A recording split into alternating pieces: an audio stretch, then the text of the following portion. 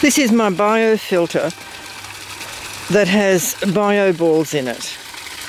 As you can see, the fish poo is uh, pretty thick and I'm just about to clean it out.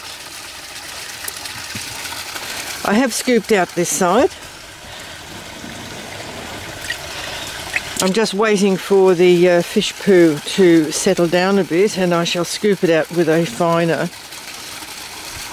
scoop. For the bio balls I use this to scoop them out. It's nice and simple. And I have them in a container here that I will wash them out with using the same pond water that this filter actually filters. That way I maintain the biology of the uh, biofilter. In this uh, long pipe I actually have um, some very fine mesh that also catches the uh, fish poo and it just uh, it has a split on the bottom here that you can see and that's where the water actually filters out through the bio balls out that outlet and then down into my makeshift stream that I have.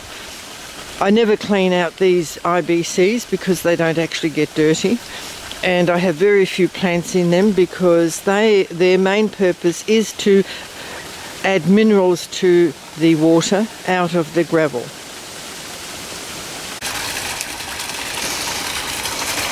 This is the chicken mesh that is inside that 300 millimeter pipe. The pipe on the bottom there is the inlet to this filter out of my main pond. And this is the uh, chicken wire. Those holes are about, um, I don't know, 15 mil in diameter. Now, I wash this in my seedling pond. My seedling pond has no fish and hence no pump. So I wash all my bio balls and everything in there and the fish poo feed my seedlings. This was full of bio balls. Now I scooped the bio balls out of this container into this bucket. And I used the outlet pipe from this mm, uh, biofilter to wash the bio balls. And it's actually quite simple. That's pretty much all you have to do to clean the bio balls.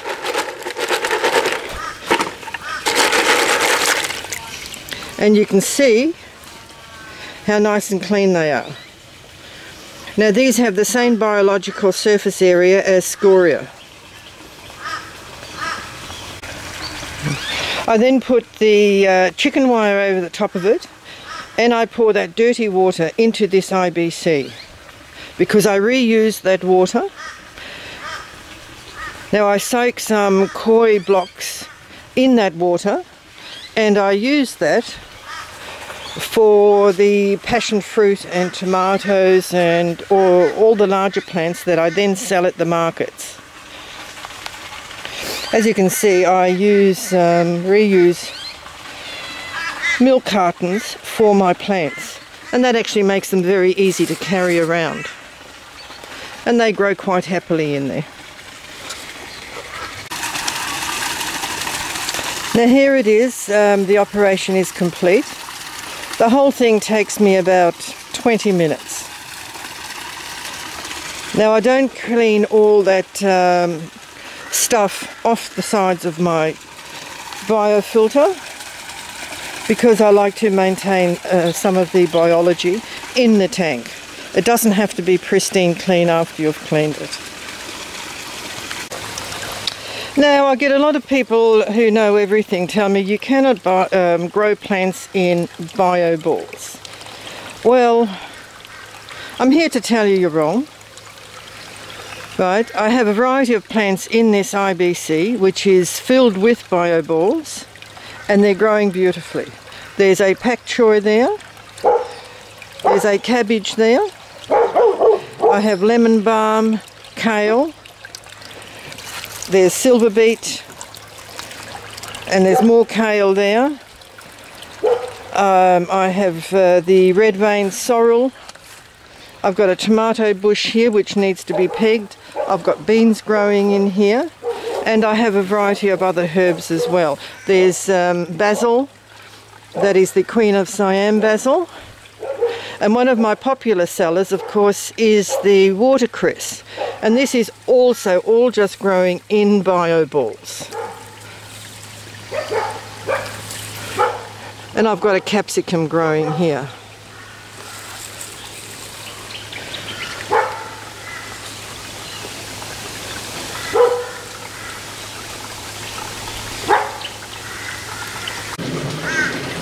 Now before I put the coir blocks into the water to rehydrate, I add some chelated iron,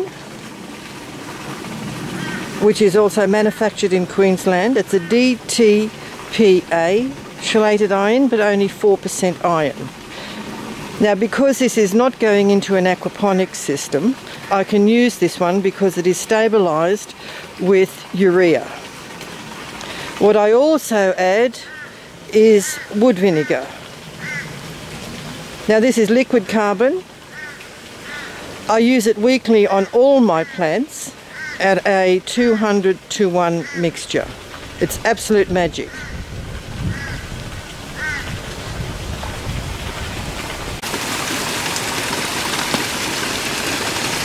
System complete, nice and clean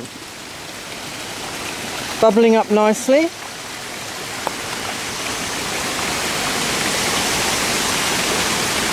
Good water flow.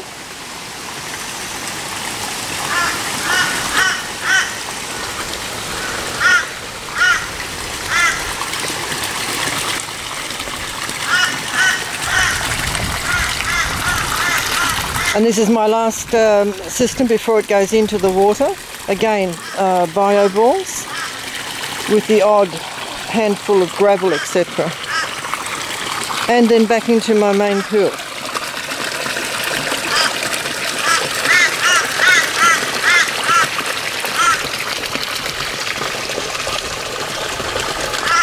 I planted these a few years ago. Have no idea what they are, but they're thriving.